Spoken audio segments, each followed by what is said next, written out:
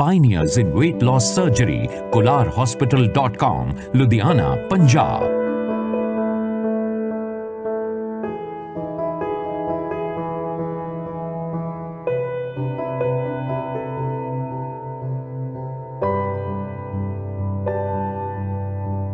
What's your experience after uh, switching to mini gastric bypass in these first uh, 10 days about the nausea or vomiting? If we rate out of 10, was it 0, 2, 5, 7, or more?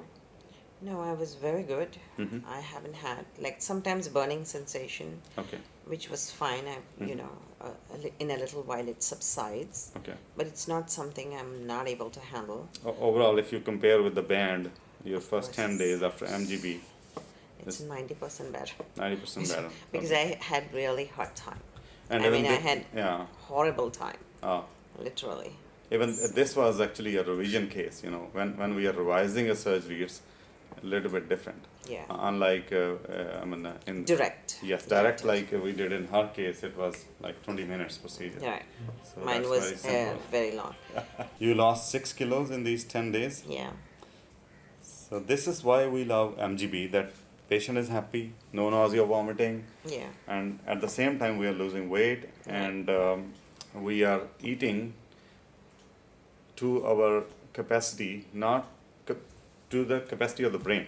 Generally, the brain is happy. Yeah. This is what we see in maybe more than 9 out of 10 patients. The more is about, uh, the more control is coming from the diet actually.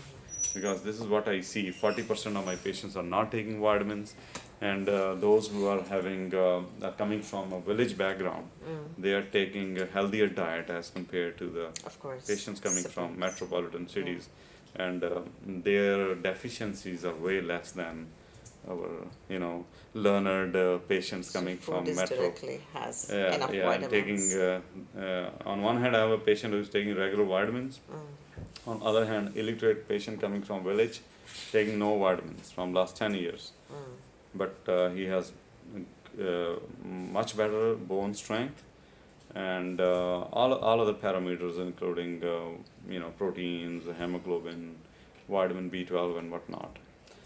Actually, ninety five percent of our requirement has to come from the food. food, of course. These tablets cannot be a replacement for the food. It can be supportive That- for a while. That's why we call it supplement Yeah. because otherwise also when we check before surgery every patient has low vitamin d3 because we are not out in the sun for so long long, yeah. as it's required by the body Yeah. but after bariatric surgery when you lose weight Mm-hmm. then your bones will become softer because you are losing weight Mm-hmm. if you're losing 50 kilos maybe 10 kilos might be coming from the bones Oh, so that is what we need to understand that these surgeries are anti-health, I would say. Health which a common man have to, understands. yeah. yeah. Health, uh, generally by health we mean uh, if you're looking good. yeah. But medically it might It be has other to way be around. insights. Yes. I mean, Inside diabetes, cholesterol, sleep apnea, all those things will become better once you Yeah. lose weight. yeah. And uh, in the long run, you have to see that you are taking healthy diet, rich in proteins, calcium. So it comes from milk products and uh, uh, non-veg. You take non-veg, Yes. chicken, fish. Fish.